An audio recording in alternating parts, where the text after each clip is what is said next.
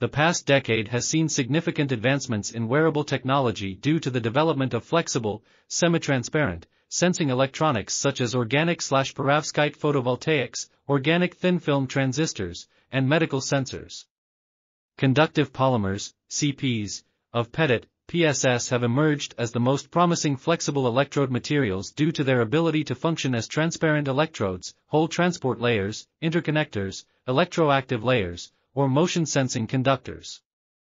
Research on PEDOT, PSS focuses on enhancing electrical conductivity and mechanical compliance and stability through various approaches, with cutting-edge progresses in devices being highlighted.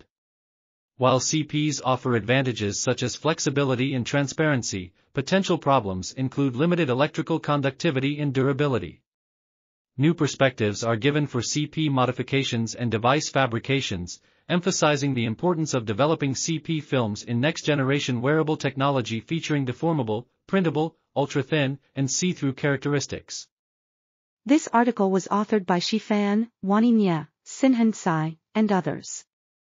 We are RTCL.TV, links in the description below.